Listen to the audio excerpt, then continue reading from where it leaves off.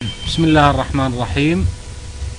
الحمد لله رب العالمين والصلاة والسلام على أفضل الأنبياء والمرسلين نبينا محمد وعلى آله وصحبه أجمعين. أه السلام عليكم ورحمة الله وبركاته جميعا. في مستهل اللقاء العلمي الشهري الرابع بكلية الاقتصاد والإدارة للعام الجامعي 1428 1429 يطيب لي أن أرحب بضيف كلية الاقتصاد والإدارة فضيلة الشيخ عبد الرحمن بن عبد العزيز الحسيني القاضي بالمحكمة العامة بمحافظة جدة وسعادة الدكتور إبراهيم بن محمد العيسى عضو هيئة التدريس الأسبق بقسم العلوم السياسية والممارس في مجال الاستشارات القانونية والمحاماة.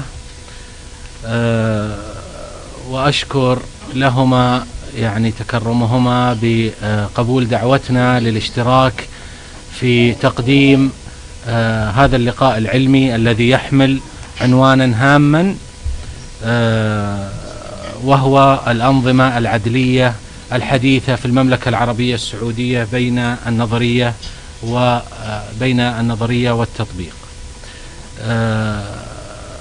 طبعا فضيلة الشيخ عبد الرحمن من مواليد مدينة الرياض حيث تلقى تعليمه بها حصل على درجة البكالوريوس من كلية الشريعة في جامعة الإمام محمد بن سعود.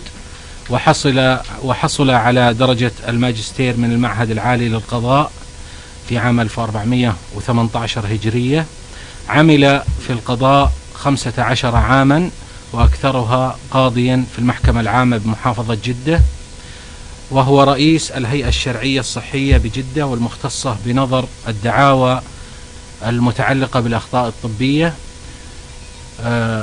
فضيلة الشيخ شارك في العديد من الدورات والمؤتمرات ذات العلاقة بالقضاء والتحكيم داخل وخارج المملكة وشارك في تدريب منسوبي وزارة العدل على معرفة وتطبيق الأنظمة العدلية الحديثة.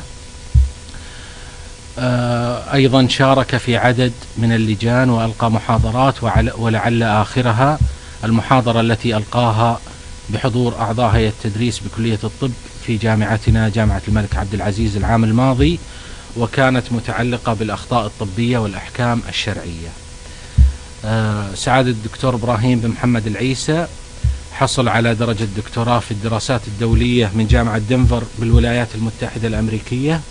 عمل ك في قسم العلوم السياسية بجامعة الملك عبد العزيز كعضو هيئة التدريس قبل استقالته عام 1424 هجرية.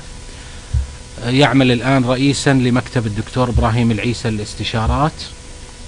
عمل مستشارا في مكتب الدكتور خالد المسعود للاستشارات القانونية والمحاماة ومستشارا ووكيلا لشركة الأسواق العقارية التجارية لسبع سنوات. مثل العديد من الشركات لدى الجهات القضائية في المملكة. لديه خبرة طويلة وغزيرة في المرافعة والمدافعة أمام الجهات القضائية المختلفة. بما فيها المحاكم العامة والجزئية وديوان المظالم واللجان في وزارة التجارة وغيرها يعمل مستشار إداري مرخص هو إدار مستشار, مستشار إداري مرخص من قبل وزارة التجارة منذ عام 1424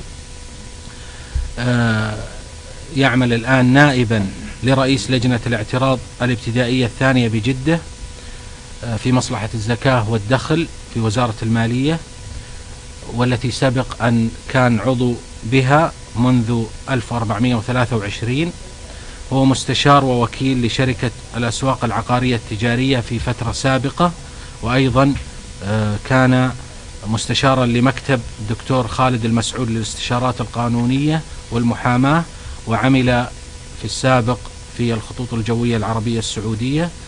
وهو عضو في جمعية سيجما لوتا إبسيلون العلمية في الولايات المتحدة الأمريكية. هذا ما استطعت جمعه ولكن ما في شك أنه يعني فضيلة الشيخ وسعادة الدكتور سجلهم حافل ب آه، يعني الأعمال والأنشطة والمسؤوليات.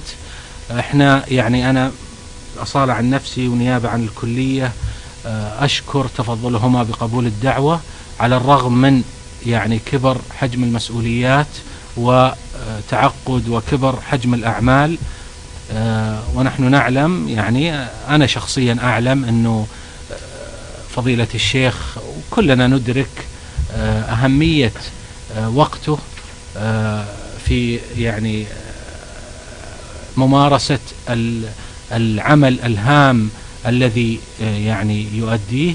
وما في شك أيضا سعادة الدكتور إبراهيم. فيعني جزاهم الله خير على دورهم في خدمة المجتمع. ربما دورهم اليوم معانا في دفع حركة البحث العلمي. سيما وأنه هذا اللقاء يأتي تحت نطاق استراتيجيات الكلية. آه، نحو دعم البحث العلمي. آه، أهمية الموضوع اللي يطرح اليوم أنا ما ودي أتكلم الحقيقة كثير لكن باقي جزئية صغيرة. آه، تكمن في عنوانه الأنظمة العدلية الحديثة بين النظرية والتطبيق. بالنسبة لنا كأكاديميين ما في شك أنه مواضيع كثيرة قد يعني تثار بأبعاد متعددة. تتعلق بمثل هذا الموضوع. فلو مثلا تطرقنا له من زاوية النشأة نشأة تلك الأنظمة العدلية الحديثة آه، والعوامل التي ساهمت في ظهورها أو ربما آه، آه، لو أخذ من جانب تفسيري تأثير تلك الأنظمة على المتأثرين بها من ممارسين ومجتمع بفئاته المختلفة وربما من جانب نقدي أيضا. تقييم مدى شرعيتها legitimacy أو مناسبتها الابروبريتنس للمجتمع السعودي وللبيئة السعودية. أنا يعني أترك المجال لفضيلة الشيخ سوف يتحدث فضيلته عن الأنظمة العدلية. الحديثة مبينا خصائص تلك الأنظمة ومميزاتها. كما سيتطرق للأنظمة المصاحبة لها والممثلة في نظام المحاماة ونظام الإجراءات الجزائية ونظام التسجيل العيني. ويستعرض فضيلته الأنظمة قيد الدراسة والمتعلقة بالتنفيذ والتوثيق وإظهار مدى الحاجة إليها وأهميتها. أما سعادة الدكتور إبراهيم فسيتناول الجانب التطبيقي والعملي للنظام القضائي والواقع والمأمول منه. في ظل صدور هذه الأنظمة العدلية الحديثة والنظام القضائي الجديد الصادر في العام الماضي. أترك المجال لفضيلة الشيخ فليتفضل مشكورا.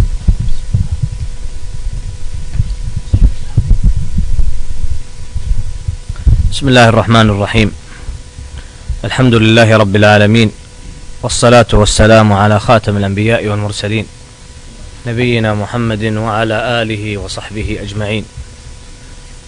أيها الإخوة والأخوات السلام عليكم ورحمة الله وبركاته. يطيب لي أن أشكر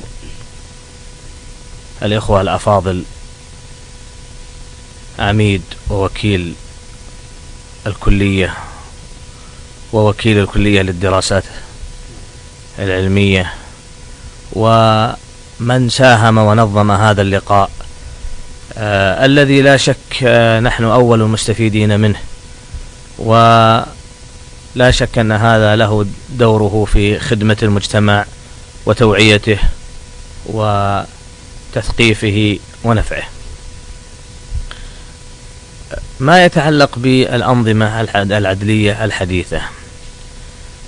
آه، الحقيقة نحن الآن في مرحلة ازدهار لصدور آه، أنظمة عديدة متعلقة في جوانب حياتنا